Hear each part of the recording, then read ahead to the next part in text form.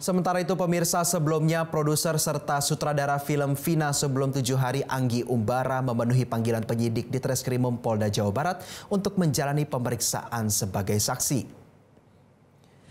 Dengan didampingi kuasa hukumnya Anggi Umbara dan Diraj Kalwani, sutradara dan produser film Vina sebelum tujuh hari tiba di Mapolda Jabar. Keduanya langsung masuk ke gedung di Treskrimum Polda Jabar untuk menjalani pemeriksaan. Anggi menjelaskan kedatangannya ke Polda Jawa Barat untuk panggilan sebagai saksi yang diterimanya pada 3 Juni 2024. Namun Anggi mengaku tidak mengetahui apa yang akan didalami oleh polisi dari dirinya dan produser film Vina sebelum tujuh hari.